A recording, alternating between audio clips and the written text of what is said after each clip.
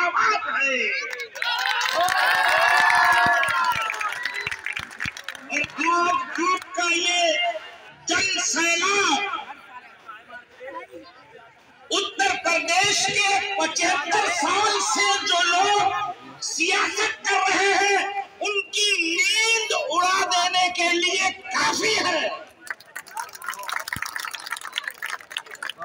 जिनको आज तक समाधान था कि हम उत्तर प्रदेश के दो, चार, दस तक लोगों को ही समय देंगे।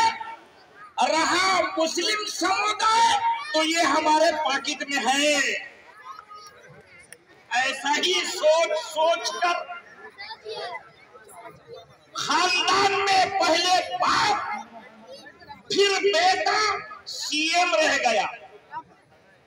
और ये समुदाय के जितने भी बुज़ुर्ग हैं वो बाप के जमाने में भी दरी बिछाते थे और ये पंद्रह बीस साल के बच्चे भी सत्तर साल से पूरा खानदान दरी बिछाता ही आ रहा है।